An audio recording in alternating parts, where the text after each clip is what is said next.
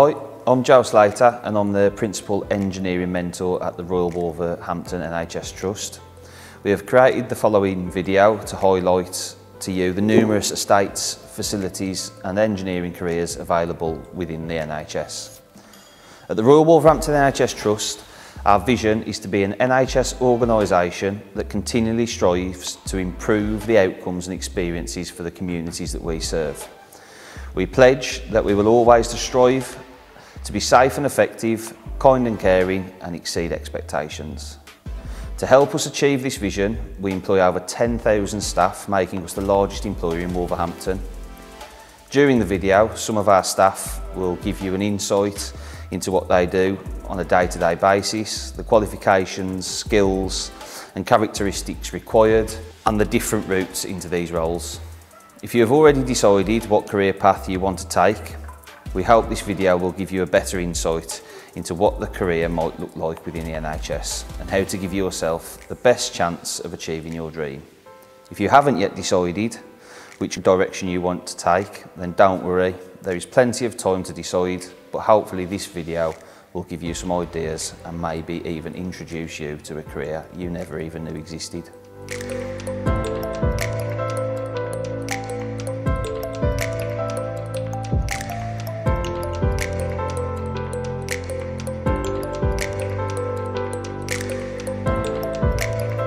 On a day-to-day -day basis, my job could be anything from sitting at my desk or going out onto, on, on site. Um, so I can be testing a CT scanner today and um, writing up the report this evening. And tomorrow I could be sat at my desk doing a dose audit for cardiology. Um, and then the next day I could be going out to an x-ray room um, to commission a new tube. So it varies a lot from day to day.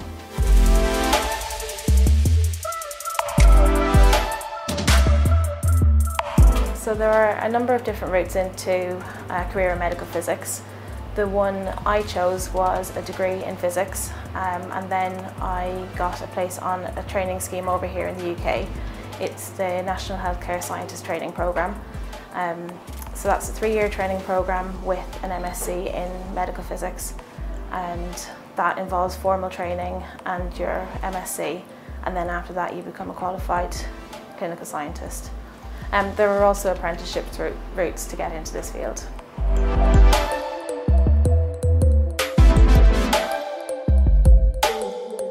So you need to have good analytical skills and good communication skills um, and a natural sense of curiosity for when things don't quite work out how you want them to, um, to, to persevere and, and, to kind of get to the root of the problem. And you must also um, know the limits of your own knowledge and not be afraid to ask for help when needed.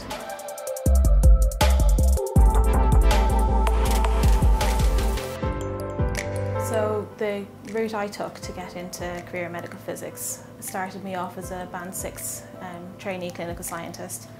Once I qualified I was a band 7 um, and there is no stopping after that so my next step is to become a medical physics expert and that will be done through experience and um, putting together a portfolio demonstrating the experience over my years since qualifying.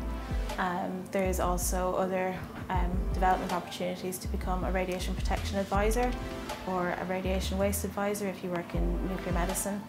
Um, but really there is no limit to what you can do.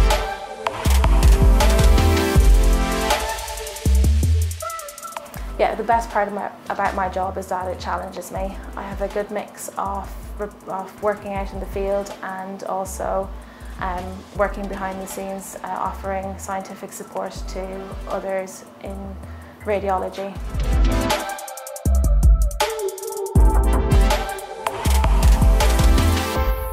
If I could describe my job in one word, it would probably be interesting.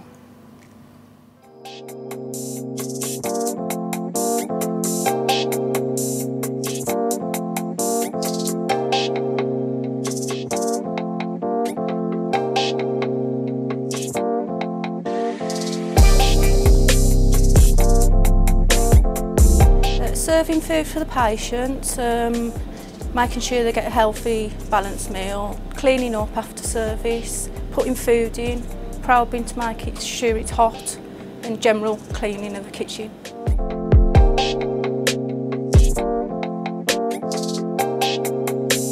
Well, just having um, knowledge of catering and serving food and I've worked in um, retail in catering before so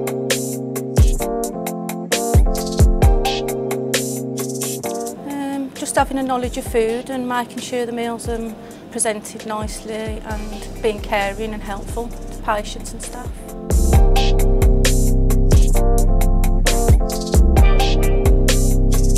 We can uh, move up to supervisor role or you could go on the um, NHS website and advance to other jobs in the hospital.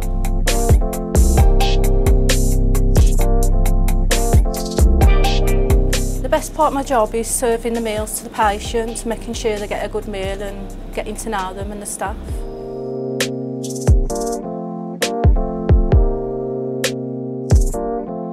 If I had to describe it in one word, it'll be nutritional.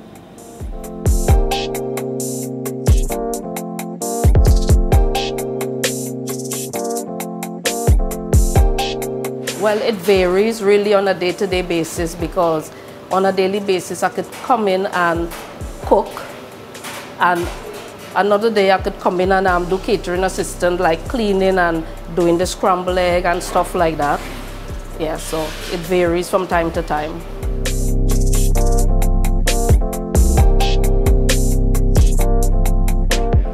Well, the entry requirement for my job, when I did apply for my job, it was like 19 years ago. And I had like my basic food hygiene, plus I had food prep, my food prep certificate. So that's what I had when I enter, when I applied for my job.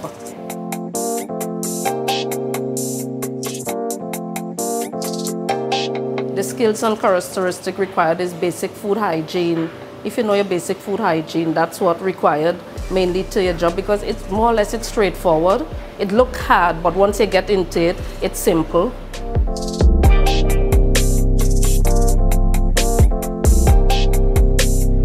Well, my job role could lead me to, I could apply if there's a position coming up for like maybe a supervisor or head chef, I could apply for that if I wanted to. You know, that's where it could lead you like, and you could branch out into other stuff also, yeah.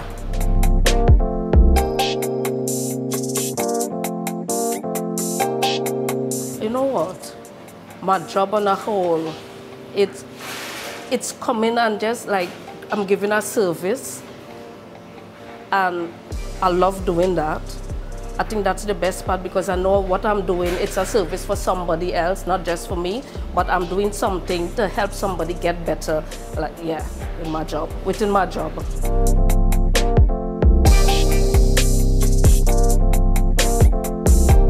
Well, my job is, it's challenging at times, but it is fantastic.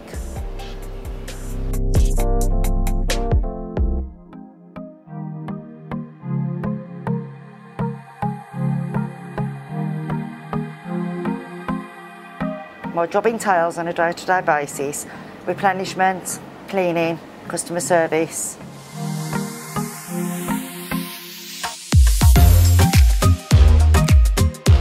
The entry requirements for the job, retail experience is desi- desirable, but full training would be given.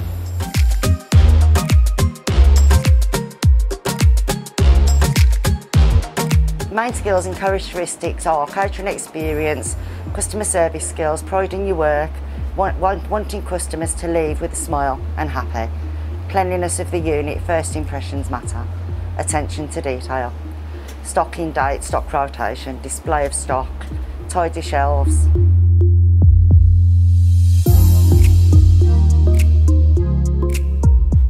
Uh, my role can lead me to various different places, i.e. supervisor, manager, stay within the catering department or move on to something different.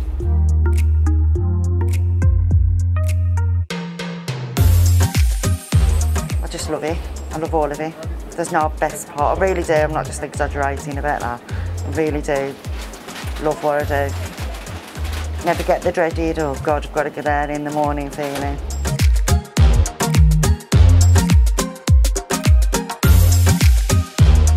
If I could describe, describe my job in one word, it would be fantastic.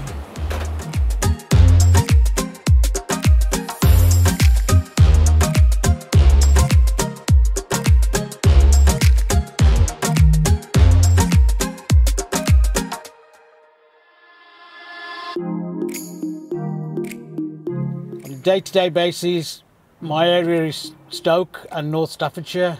So I've got about 30 surgeries, 35 surgeries. I visit all the surgeries and collect cytology samples and then bring them back to New Cross for testing.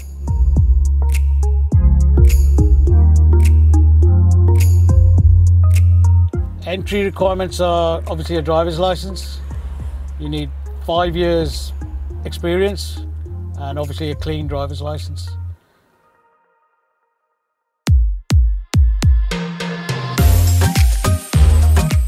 A start, you need to be able to um, put up with traffic jams, weather conditions, then you got to be able to patience when you go to the surgeries because you will not be you, you don't get served straight away you have to wait. And then obviously punctuality reliability make sure you transport the samples safely bring them back drop them back off at the labs here at New Cross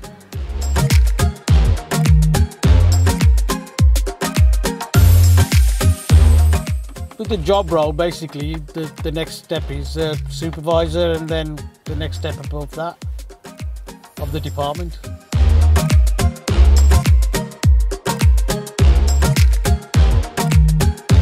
Meeting different people uh, every day, you out on the road, uh, and obviously getting the providing the service for the patients.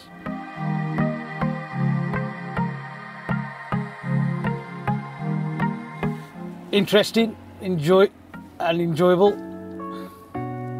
That's two.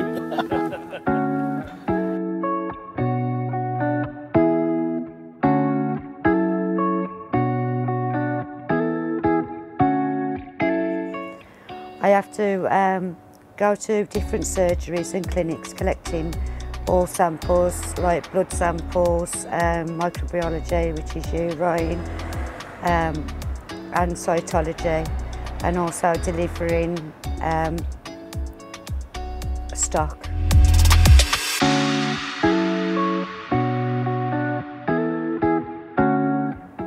The entrance you have to have a full driving licence clean and you can go on to be a supervisor.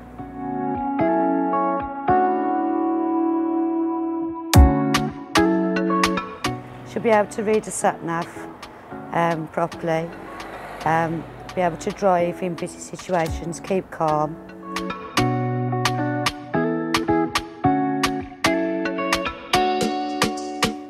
Could lead to being a supervisor or even management and we get full training for that.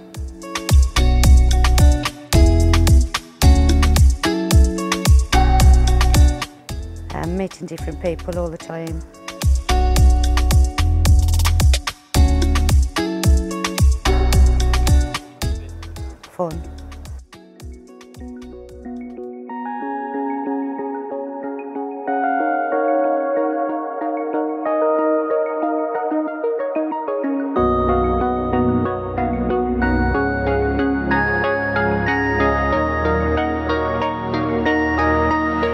On a day-to-day -day basis, my job entails helping and supporting 19 supervisors and I also help and support our domestic team.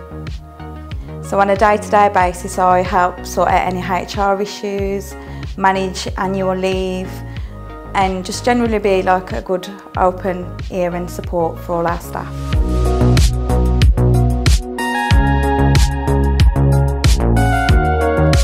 I didn't have any entry requirements for my job. I started originally as a bank domestic um, and I've worked my way up through experience but I've also undertook quite a lot of courses that have been enabled me to do, the trust have been enabled me to do.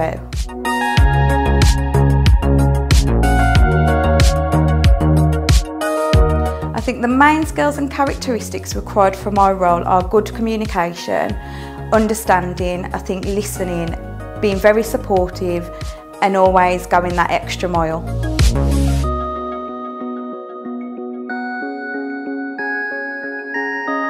Um, I'm currently doing a course at the moment, um, which is like a cleaning supervisory course. And like I said, I did start off as a bank domestic and I've worked my way to a domestic supervisor to now a senior. So one day I'm hoping to be manager.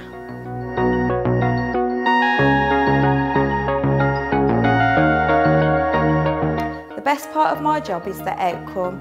For instance, with the pandemic, it's nice to see the number of inpatients going down on a weekly basis and knowing that my team helped contribute to that.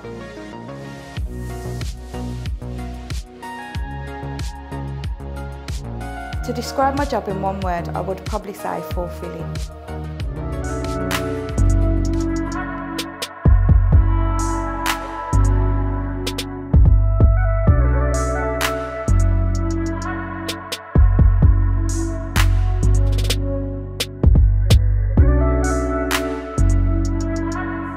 So mainly my job entails moving patients all around the hospital um, from different wards, taking them for treatments, scans, x-rays, and then other duties I could be driving an ambulance, I could be changing oxygen cylinders and general movements of move wards and equipment.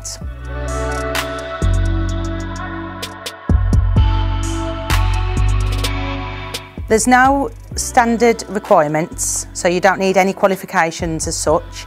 Um, the, the way I got onto the job was through the NHS jobs website.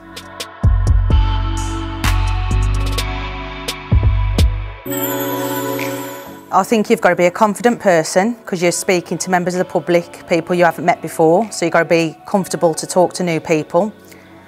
I think you've got to be kind and caring and considerate and compassionate because there's a lot of poorly people that we deal with. Um, and I think you've got to be enthusiastic and approachable.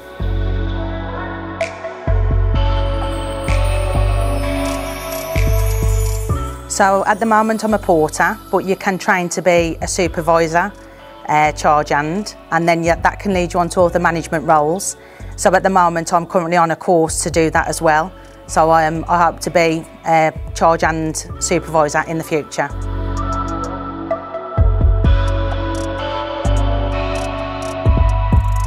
I think the best part is um, it's quite rewarding to see that you've helped people um, who have come into hospital and they're not feeling well and you've been part of a team that's hopefully helped them get better and back to a healthier life.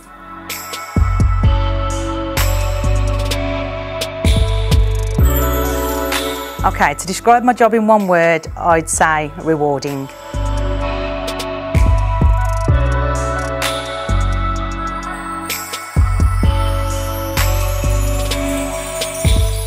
I run a shift of up to about 30, 35 porters. I have to control patient flow through a teletracking system that we use on the computer. Um, and I complete mandatory training for the staff, train them to do gas cylinders and all sorts of movements around the trust.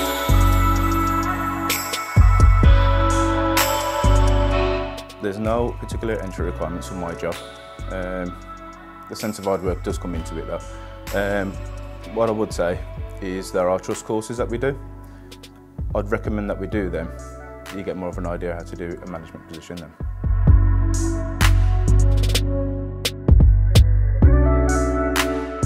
The main skills and characteristics I'd say are organisation and communication.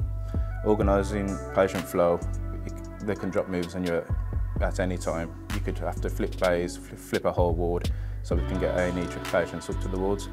So it's my job there to try and manage my staff to try and achieve a goal.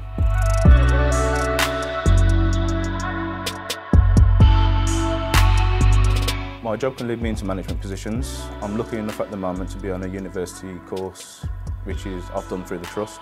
Um, it's a business management degree and hopefully in the future lead me into management roles.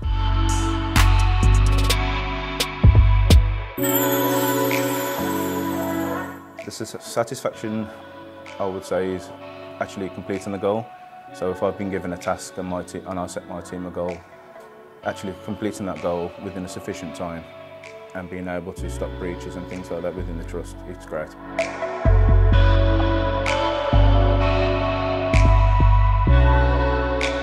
Describe my job as fulfilling.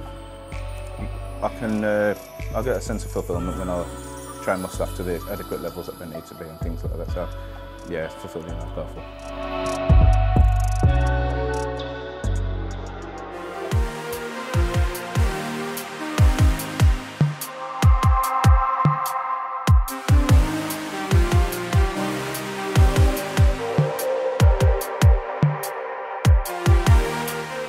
So on a typical day, um, no, no day is the same. We, uh, we carry out um, PPM tasks, which is pre-planned maintenance. So that can be anything from emergency lighting tests to fire alarm tests. And then also we do reactive work. So that can be anything from a broken socket to lights not working. And uh, yeah, we, we respond to that.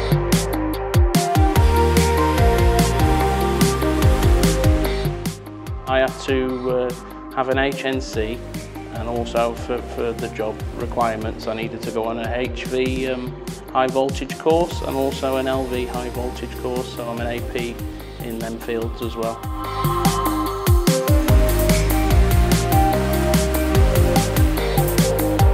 You need to have a good mindset, you need to be reliable and enthusiastic.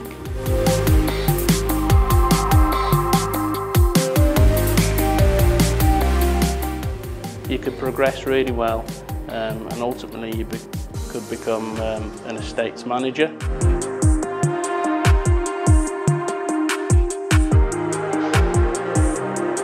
I have good job satisfaction because it's good to feel as though you've made a difference during the day for the patients.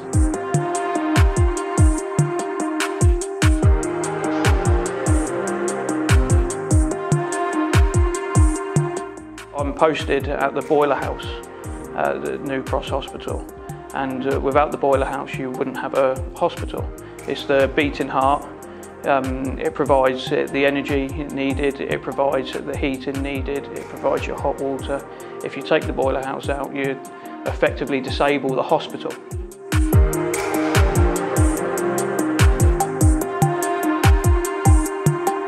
This trust actually sent me to university to gain that qualification, which allowed me to progress into the role that I'm in now.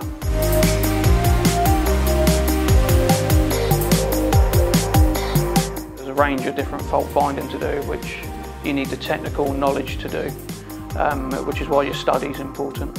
Working as part of a team is, is huge. I'm much more engineering bias on, on some industrial plant. Um, without my colleagues, I wouldn't, I wouldn't know what I'm looking at when it comes to uh, electrical uh, type systems we have here, which can be very complicated at times. Um, of course, we have a range of carpentry, um, building, building services. Um, you need all of these to come together to, to just solve one issue.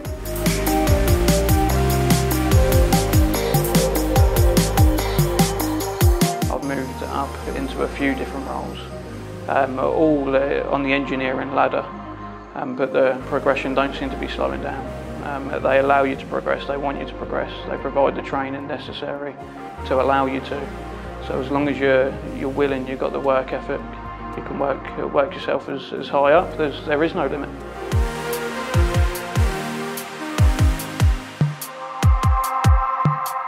If you can walk away knowing that something you did that day made a difference to a patient who's, who's receiving care, then uh, that, that fills you with the, with the satisfaction. Working for a public service, you, you get great pension schemes, you get great benefits with your, your holidays, you get great flexibility.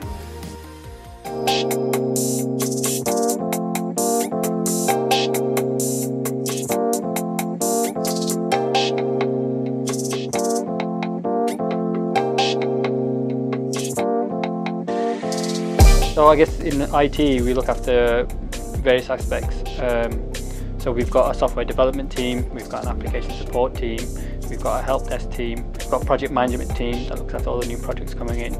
we've got a security team.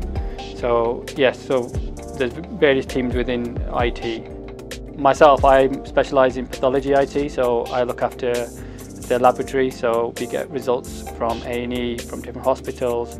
We're doing a lot at the moment with COVID, um, we look after all, all the equipment. Um, we get the lab to call us on a daily basis. We deal with the emails, the queries, third parties, and we provide help over the phone um, and also in person as well. So a lot of this going out to the labs, seeing what the issue is and resolving those issues.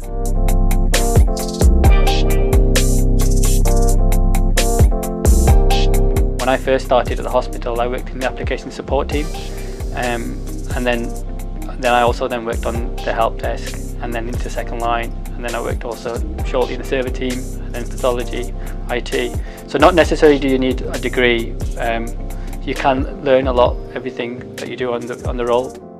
Experience or work experience can definitely make you stand out. Um, and it shows that initiative and uh, the ability to work. Because I think within IT, you need to be able to um, communicate with all levels of staff. So um, whether it be a nurse or a doctor or someone else who's technical um, and be able to break that, that jargon down.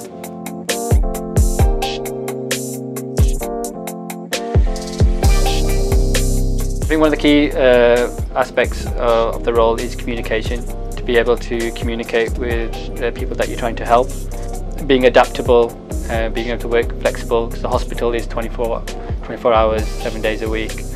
Um, being able to work like bank holidays, um, work on short notice, be able to come in.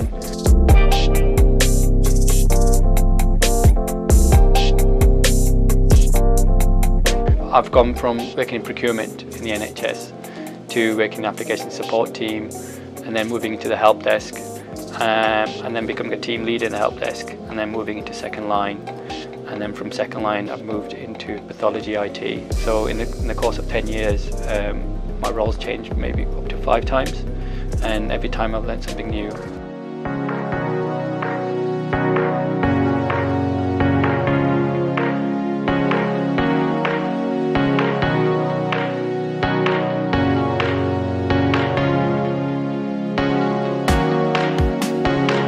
normal day, um, it's attend the workshop to see what jobs have been logged.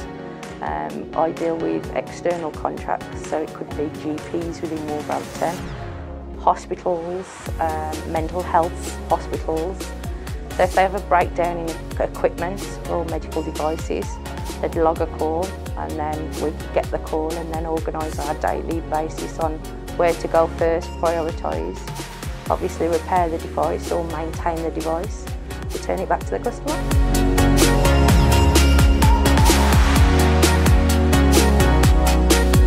I started as a, a band three within this department, within medical physics and clinical engineering, which was um, basic of five GCSEs from A to C level.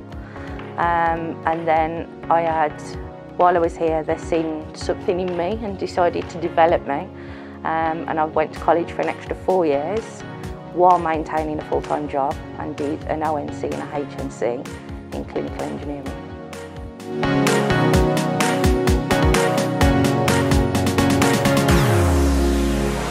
You've got to be very outgoing and sociable, be able to have customer relations. Um, within the mental health settings that we have, obviously it's the way you um, put yourself forward, um, speaking to different managers, sometimes I'll be patients.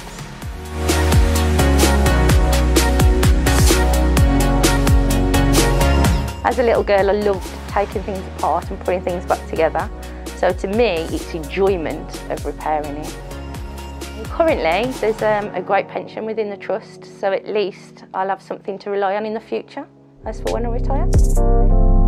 As you've seen, you don't need to be a doctor to work within the health service. Though we do still need lots of these, there are numer numerous other fields that will be perfect for your skills and interests. Whatever career path you decide to start on, remember to check out the NHS to see what opportunities there are here for you. We look forward to working with you in the future.